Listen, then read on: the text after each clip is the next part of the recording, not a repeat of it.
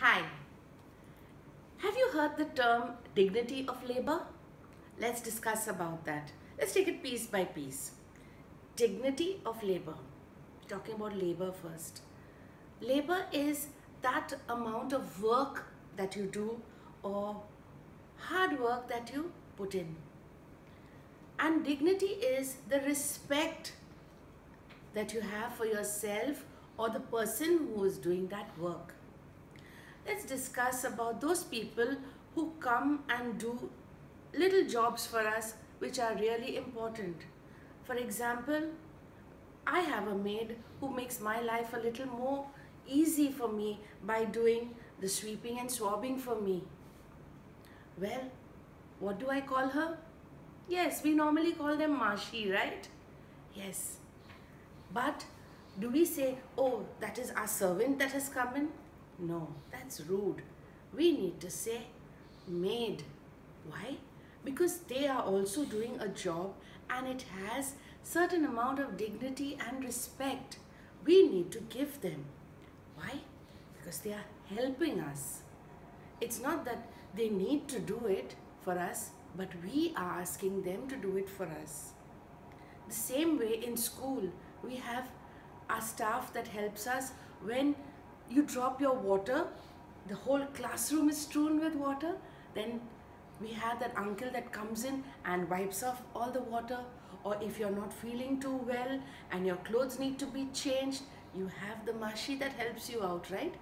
Now all these people who help us, how do we treat them? That is called dignity of labor. We have that kind of feeling and emotion for them which says we respect you for what job you do. We appreciate you for what job you do. I'm going to tell you a little story. There was this man who got off at a railway station and he wanted somebody to carry his bags and that somebody we call as coolie or porter.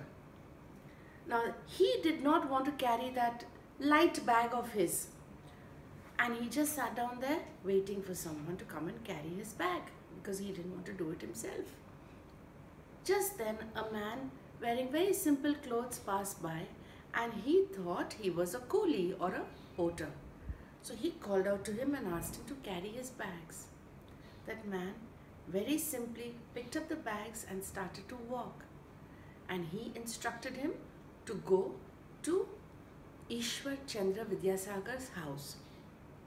They walked on, reached, and when he entered, he told that porter that he thought was, Go and call Ishwar Chandra Vidyasagar. The porter, who he imagined he was, turned round and told him, I am Ishwar Chandra Vidyasagar. That man felt ashamed of himself. Yes, because he expected others to do his work for him when he could have well enough carried his own bag. How many times do we behave like that with our drivers, our sweepers, our cleaners?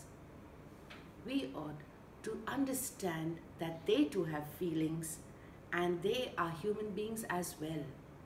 So next time, when you speak to your driver, your maid, your sweeper who comes to collect your garbage, say hello to them, thank them for what they do.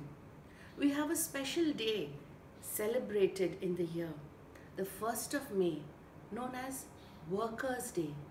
That day, we appreciate these people for all the work they do.